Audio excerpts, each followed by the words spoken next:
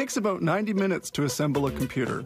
Its hard drive disk saves information transmitted to it for a long time.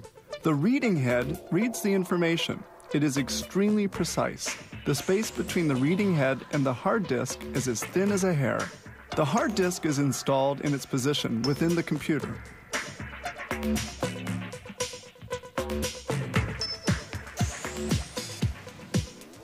There are two other units which safeguard information the removable 3 inch disc reader and the CD ROM reader, which allows for the reading and execution of programs recorded on compact discs.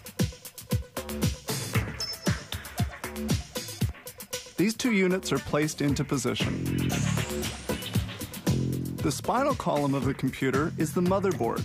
It is to this unit that the other elements of the computer are connected. This cooler dissipates the heat generated by the chipset.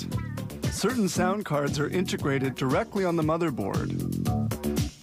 These connections, in sequence, are the audio input, its output, and the microphone port. This AGP retaining ring secures the video card during transport.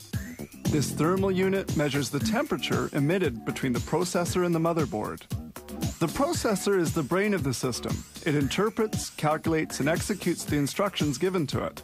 The processor has several millions of transistors, and its cadence, its operating speed, reaches the gigahertz level. The processor rests on this base. The processor's cooler dissipates the intense heat. Its efficiency depends on the type of material used, and a conducting material assures better cooling. The RAM memory stores short term information, but erases it when the current is turned off. This memory is more rapid than that of the hard disk or the CD ROM. Now they integrate everything in the case. It protects the internal elements from the external elements. At this stage, they install the electronic components in this case. Several connectors of the case are connected to the motherboard, such as the commutator and various light indicators.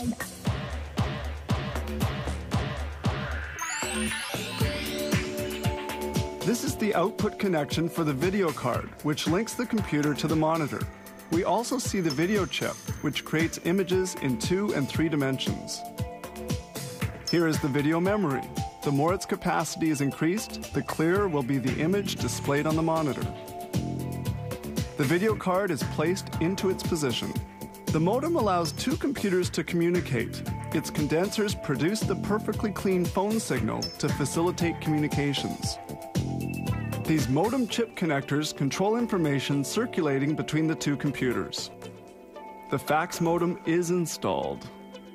The power supply transforms electricity according to the voltage required by the different components.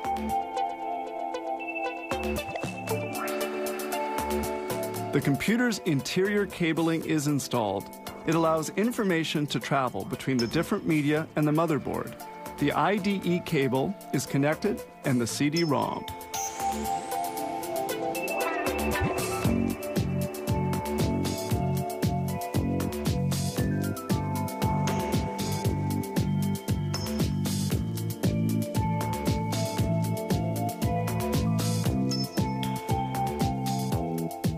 The last electrical wires are connected to different computer components.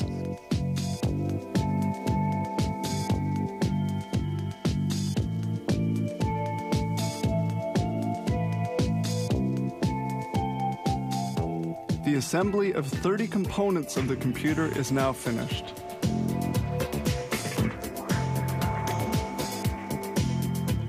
Just before closing the case, they test each computer to verify the good functioning of the peripherals. Then they close up and proceed to packaging. This company produces about 300 computer units every day.